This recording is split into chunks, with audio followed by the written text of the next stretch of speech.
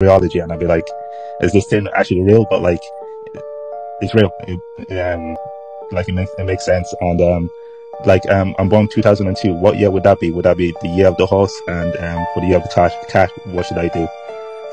Yeah, because usually a lot of people born in that January, February cusp are usually the previous year. You're born after that, so you're year of the horse. Um, 2002 overall is year of the horse. Um, people who are born year of the horse, uh, you can tell usually in physical features, they usually nine times out of ten have a no, long neck.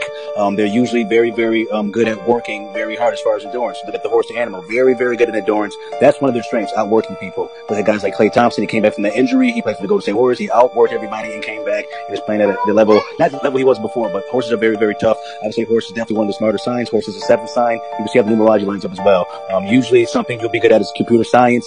Anything based on the internet, you'd be very good at that as well in a different lifetime. So scientist, computer science, internet. Um, and also I would say, um, you're somewhat stubborn. Um, you're very stubborn. Don't be stubborn just for the case of being stubborn. You're not always right about everything. So consider other people's viewpoints. Don't be stubborn just for the case of being stubborn. I know that's you're very stubborn. Don't don't lie about it. I know you're stubborn. That's correct. Always consider that somebody else is right. Okay.